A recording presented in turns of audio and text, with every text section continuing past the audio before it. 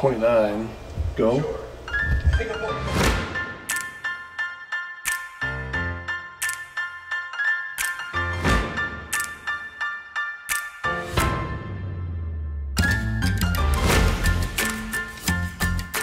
This is one of the world's great theater facilities.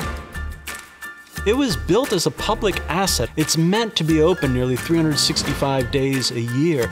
And that part of theater that combines to an idea of civic obligation, civic space, community space, I think this building holds so beautifully. We have the best artisans and craftspeople in the country. I mean, we simply do. The work of the shops to take your ideas, which are only kind of good, and rendering them in ways that are truly brilliant is one of the great gifts of working at the Guthrie.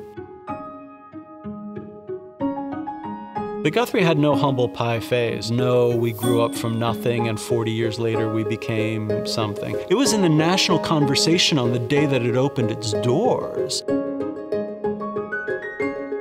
Tyrone Guthrie in 1963, he was already the most famous director in the English language. He wanted a place where he could make theater outside of the commercial theater model. He wanted a place where the art is at the center of it. And I'm very excited about continuing this tradition, which the Guthrie has held for the last 53 years.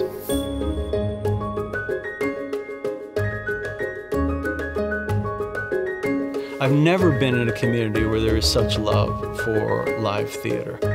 There are 400,000 patrons that participates in the life of the Guthrie, but they're not all here for the same reasons and they're not all here on the same night. And the fact that we have these three theaters in this one venue allows us to do so many things for so many people.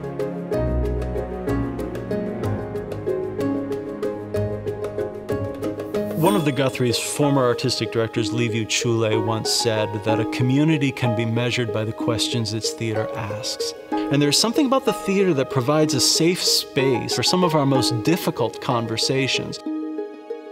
Coming into a theater and sitting with 1,100 people dropped into somebody else's story, that's a radical act in today's society to watch a 450 year old play of Shakespeare's or a 2,000 year old play of the Greeks and find that many of the themes, the questions, what's being wrestled with, are still questions that we're wrestling with in our own contemporary life is thrilling and exciting.